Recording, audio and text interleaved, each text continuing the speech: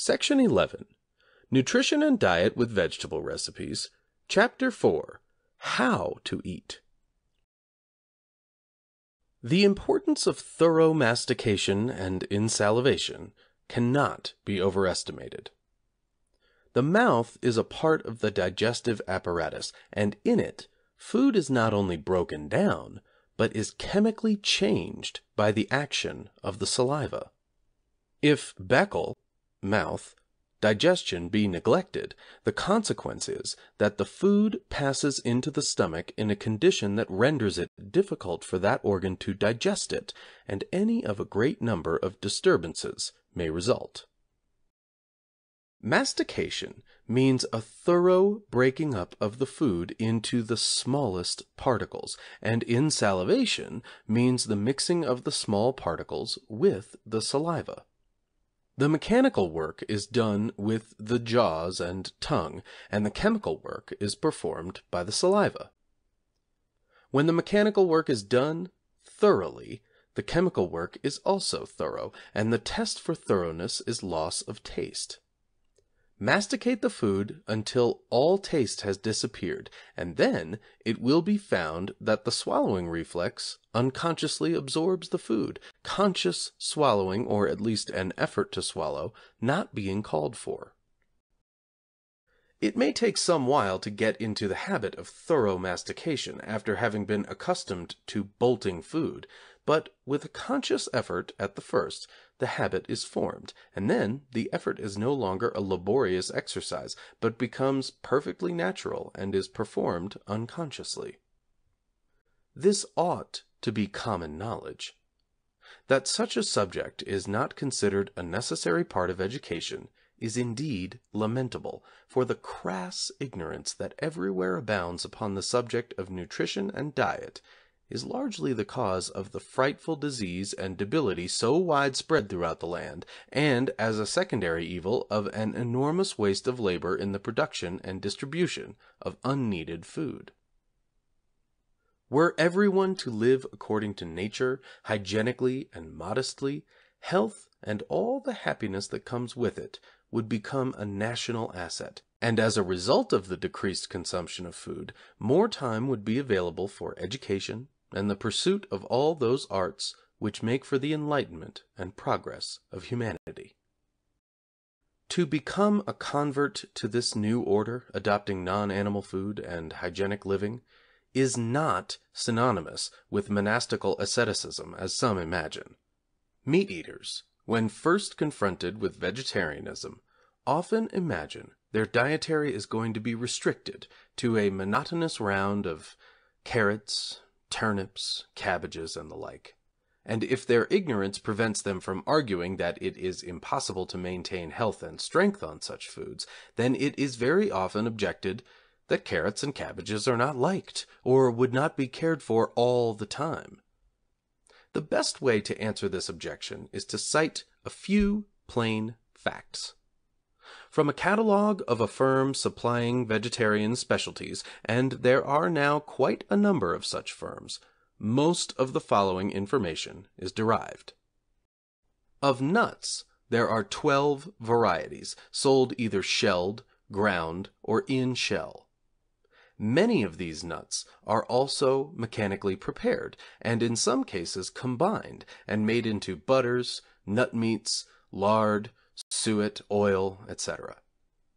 The varieties of nut butters are many, and the various combinations of nuts and vegetables making potted savories add to a long list of highly nutritious and palatable nut foods. There are the pulses, dried and entire, or ground into flour, such as pea, bean, and lentil flour. There are the cereals, barley, corn, oats, rice, rye, wheat, etc., from which the number of preparations made such as breakfast foods, bread, biscuits, cakes, pastries, etc., is legion. One firm advertises twenty three varieties of prepared breakfast foods made from cereals. Then there are the fruits, fresh, canned, and preserved, about twenty five varieties green vegetables, fresh and canned, about 21 varieties, and roots, about 11 varieties. The difficulty is not that there is insufficient variety, but that the variety is so large that there is danger of being tempted beyond the limits dictated by the needs of the body. When, having had sufficient to eat, there yet remain many highly palatable dishes untasted, one is sometimes apt to gratify sense at the expense of health and good breeding, to say nothing of economy. Simplicity and purity in food are essential to physical health, as simplicity and purity in art are essential to moral and intellectual progress. "I may say," says Dr. Haig, "that simple food of not more than two or three kinds at one meal is another secret of health, and if this seems harsh to those whose day is at present divided between anticipating their food and eating. I must ask them to consider whether such a life is not the acme of selfish short sightedness.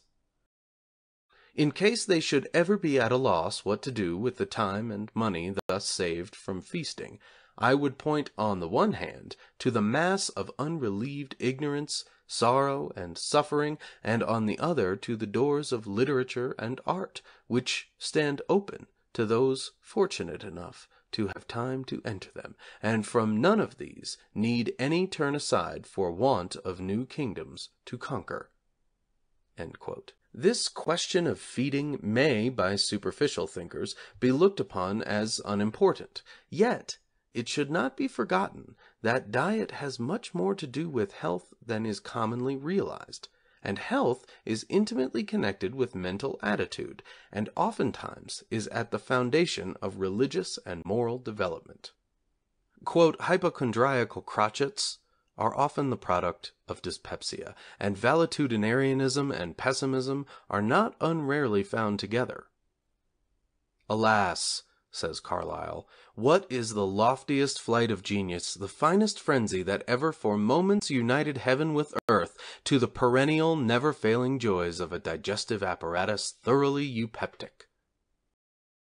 Our first duty is to learn to keep our body healthy. Naturally, we sooner expect to see a noble character possess a beautiful form than one disfigured by abuse and polluted by disease. We do not say that every sick man is a villain, but we do say that men and women of high character regard the body as an instrument for some high purpose, and believe that it should be cared for and nourished according to its natural requirements.